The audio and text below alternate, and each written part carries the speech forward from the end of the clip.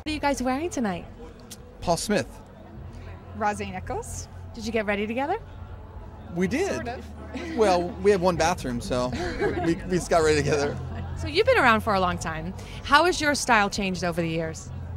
Uh, it's gotten better. It's gotten better. I think everybody's gotten better though since the 80s, haven't they? I hope. I hope. The 80s are kind of back. Are they? Uh oh. Well, then I'm out of style again. I thought I was back in style. You look great. How was the show? It was great. It was fun. What were some of the highlights? Um, Borat when he seen Borat win, I I got a kick out of that. You did? Yeah, and his acceptance speech acceptance speech was pretty funny. Why? What, what was he saying? Oh, just crazy stuff about him, what he did. Did you see the movie? Yeah. Crazy stuff. Remember that scene with him and his buddy in the bed, Yeah. rolling around? Yeah. He talked about the golden balls. Wow. Have fun tonight. We'll see you.